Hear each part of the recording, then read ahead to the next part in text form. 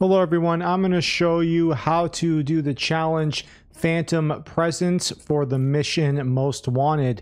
If this video helps you, please like it, leave a silly comment for the algorithm, and don't subscribe to me. Okay, once we get to this part of the level, when you enter the black site, this is kind of where the mission, um, this is where they're talking about, that you have to do all stealth.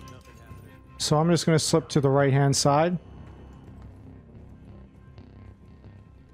Now, there's, I'm sure there's multiple ways we can do this. Line them up right. You can take them both down with one shot. Ducks in a row. Hold up. Tango after 12. Top of stairs. All right, let's just wait for this guy to reach the top of the stairs. Let's take him out too. Okay, let's go this way now. Let's just take that guy out. Take that guy out. Clean kill. No one saw you. Good stuff. All right, so now we just got to go this way, Hold your position. Got and we're just gonna wait here.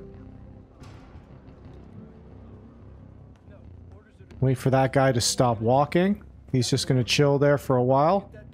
So let's just go ahead and take him out. And then we just gotta crawl our way over there. Heads up. I see a bunch of shit And that will be it.